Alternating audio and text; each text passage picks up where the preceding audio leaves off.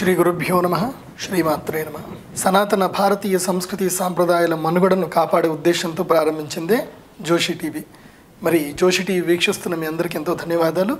ప్రస్తుతము నువ్వు ఎవరు అన్న విషయాన్ని తెలుసుకుందాం. ఇవి పంచభూతాలు వీటి పంచ తన్మాత్రములు పంచ జ్ఞానేంద్రియాలు. ఇప్పుడు పంచ కర్మేంద్రియాలు. పంచ కర్మేంద్రియాలు అంటే వీటి ద్వారా మనం పనులు చేస్తాం. వీటి ద్వారా జ్ఞానాన్ని పొందుతున్నాం. ముక్కు ద్వారా నాలుక చెవి చర్మము నేత్ర. Means nose tongue ears skin and eyes with these all the things we are gaining our knowledge so ఇవేంటి? సెన్సరీ ఆర్గన్స్ తర్వాత మోటార్ ఆర్గన్స్ ఏంటి? క వీటిని కర్మేంద్రియాలు అంటారు. వాక్కు పాణి అంటే చేతులు పాద అంటే కాళ్ళు పాయు ఉపస్థ. పాయు అంటే ఏంటి? మనము ఏదైతే కనుక జెనేటల్ ఆర్గన్స్ ఏవైతే ఉన్నాయో excretions genital organs so excretion organs so మనము మూత్రము ఇవన్నీ కూడా చేయడము తర్వాత జెనేటల్ ఆర్గన్స్ సెక్సువల్ ఆర్గన్స్ ఇవన్నీ కూడా అంటారు. సో ఇవి కర్మేంద్రియాలు. సో స్థూల శరీరం అంటే ఏంటి అంటే కనుక ఏవైతే కనుక మన కంటికి కనబడేదంతా కూడా స్థూల శరీరం. ఇది సూక్ష్మ శరీరం.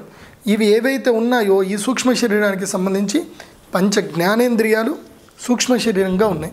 సో పంచ తన్మాత్రములు కూడా సూక్ష్మ శరీరానికి సంబంధించినవి.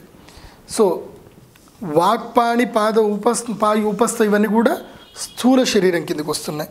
సో పంచ జ్ఞానేంద్రియాలు పంచ తన్మాత్రములు పంచ కర్మేంద్రియాలు పంచభూతములు మొత్తం ఎన్ని?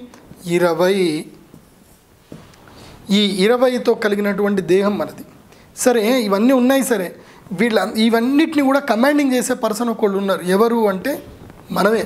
మనం వీటన్నిటి కమాండ్ చేస్తున్నాం. మనస్సు బుద్ధి అహంకారం. ప్రతి ఒక్క మనిషికి ఇవన్నీ కూడా ఉన్నాయి. ఇప్పుడు ఒక పేదవాడికి ఒక రిక్షా తొక్కేవాడికి ఇవన్నీ కూడా ఉన్నాయి. బాగా ధనవంతుడు కూడా ఇవన్నీ ఉన్నాయి. మరి వాడికి వీడికి తేడా ఏంటిది అని అంటే ఇది. మనస్సు బుద్ధి అహంకారం. దీన్ని ఏమంటారు అంటే కారణ శరీరం అంటారు. సూక్ష్మ శరీరంలోనే కారణ శరీరం. దీన్ని ఆధారంగా చేసుకొని మనిషి వీటిని పొందుతాడు. అది కుక్క కావచ్చు నక్క కావచ్చు మనిషి శరీరం కావచ్చు అది స్త్రీ శరీరం కావచ్చు పురుష శరీరం కావచ్చు లేదంటే ఒక నులుగు పురుగైనా సరే కావచ్చు. ఇవన్నీ ఈ శరీరాన్ని పొందడానికి కారణం ఇది.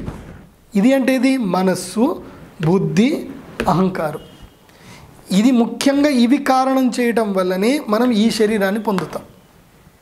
ఇదంతా కూడా గరుడ పురాణంలో వస్తుంది. మనం ఆ సందర్భం వచ్చినప్పుడు తెలుసుకుందాం. సో మనస్సు బుద్ధి అహంకారం. ఇవేంటి ఇవేంటబ్బా మనస్సు బుద్ధి అహంకారం అంటే? ఇవి మనల్ని ప్రిడామినేట్ చేస్తూ ఉంటాయి అన్నమాట మన శరీరంలో మనకి తెలియకుండానే లోపలగా ఒక శక్తి అనేది నడుస్తూ ఉంటుంది. మనం ఏదో ఆలోచిస్తుంటాం ఏదో ఇష్టపడుతూ ఉంటాం. అదంతా మనస్సు. ఇప్పుడు నేను చెప్పే మాటలన్నీ కూడా మీరు వింటున్నారు. ఇది బుద్ధి. ఇప్పుడు మీరు వింటున్నారు కదా అని చెప్పి నేను మీకు ఫోన్ చేసి ఏమండి? మీరు నా వీడియో చూశారు కదా? మీరు సబ్స్క్రైబ్ ఎందుకు చేయలేదు? అని నేను అడిగాను అనుకో ఏ నేను ఎందుకు చేయాలి? అని ఆన్సర్ ఇచ్చేది ఏంటి? అహంకారం.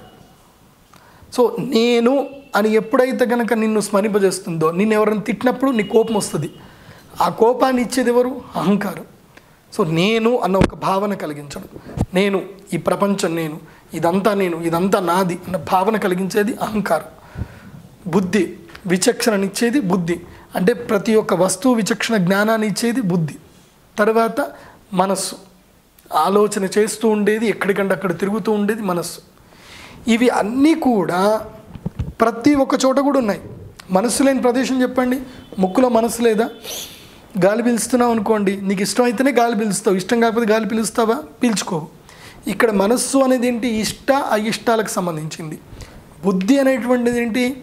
విచక్షణ యుక్త అయుక్త విచక్షణ. ఏ పని చేయాలి ఏ పని చేయకూడదు చెప్పేది బుద్ధి. మనస్సు ఇష్టము అయిష్టము.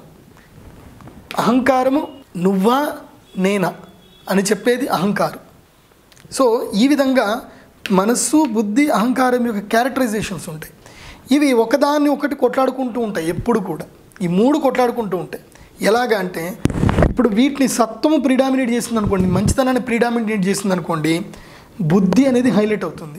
అంటే ఎవరు మంచివాళ్ళు అని అంటే ఎవరి బుద్ధి సరిగ్గా పనిచేస్తుందో వాళ్ళు మనసు చెప్పినట్టు వినరు వాళ్ళు. బుద్ధి చెప్పినట్టే ఉంటారు అంటే యుక్త అయుక్త విచక్షణ. ఏది మంచి ఏది చెడు. బాగా జ్ఞానం కలిగినటువంటి వ్యక్తే బుద్ధి. ఆ బుద్ధి సత్వము ప్రిడామినేట్ చేస్తుంది అనుకోండి అంటే మంచి తత్వము ప్రిడామినేట్ చేస్తుంది అనుకోండి వాళ్ళ శరీరం లోపల బుద్ధి అనే కారణ శరీరము పని బాగా చేస్తుంది అని అర్థం. అప్పుడు బుద్ధి ఉన్నప్పుడు మనస్సు అహంకారం రెండు ఉంటాయి సుమి. ఓన్లీ బుద్ధి ఒకటే ఉందనుకోవద్దు. మనస్సు అహంకారం రెండు కూడా ఉంటాయి. బుద్ధి ఉన్నంత మాత్రం మనసు లేకుండా పని చేయడు. కాకపోతే మనసును ప్రిపేర్ చేస్తాడు. ఇలా ఈ మనస్సు బుద్ధి అహంకారం అనేటివి ప్రతి ఒక్క దాంట్లోనూ ప్రతి అణు అణువులోనూ కూడా ఉన్నాయి. ప్రతి శరీరంలోనూ ప్రతి అంతర్గతమైనటువంటి సెల్లోనూ కూడా మనస్సు బుద్ధి అహంకారం ఉన్నాయి. కాబట్టి మనస్సు బుద్ధి అహంకారం. ఈ అహంకారం ఏంటి అంటే కనుక మంచి మనస్సు ఉంది మంచి జ్ఞానం కూడా ఉంది. కానీ నేను అన్న అహంకారం ఉంది. సో ప్రతి ఒక్క మనిషి మూడిట్లో దేనిలో ఒకదానికి లొంగిపోతూ ఉంటాడు. సో అది అహంకారం ప్రిడామినేట్ చేస్తుంది అనుకోండి రజోగుణం. అంటే బ్యాలెన్సింగ్గా కూడా ఉండలేరు. అదే అట ఇట ఎటు అటు అని చెప్పి రెండు వైపులా ఆలోచిస్తూ ఉంటారు. సో ఏది పని పూర్తి చేయరు ఎలా ఆలోచిస్తారో తెలియదు అంతా కన్ఫ్యూజన్గా ఉంటుంది. తమస్సు గుణం. మనస్సు ఎక్కడైతే డామినేట్ చేస్తుందో వాళ్ళు తమస్సు. అంటే వాళ్ళు ఎప్పుడు కూడా మాయలో ఉంటారు. తమస్సులో అజ్ఞానంలో ఉంటారు. మనస్సు చెప్పినట్టు మీరు విన్నారే అనుకోండి మీరు అధో స్థాయికి వెళ్ళిపోతారు. అదే బుద్ధి చెప్తూ విన్నారనుకోండి మీరు ఉన్నత స్థాయికి వెళ్తారు. అహంకారం చెప్పినట్టు విన్నారనుకోండి ఎటు కాకుండా వెళ్తారు. అంటే అటువైపు వెళ్ళరు ఇటువైపు వెళ్ళరు. పైకేమో ప్రపంచానికేమో బుద్ధివంతుల్లా జ్ఞానవంతుల్లా కనిపిస్తారు. ఇంటర్నల్గా ఏమో మీరేంటిదో మీకు తెలుసు. సో బయట ప్రపంచంతో కలవలేరు మెలవలేరు. లోపల మీతో పారు మీరు ఉండలేరు. ఇలా సతమతమవుతూ ఉంటారు. ఇలా ఇలాంటిది మొత్తము తత్వం. మనిషి అంటే ఇది నువ్వంటే ఇది.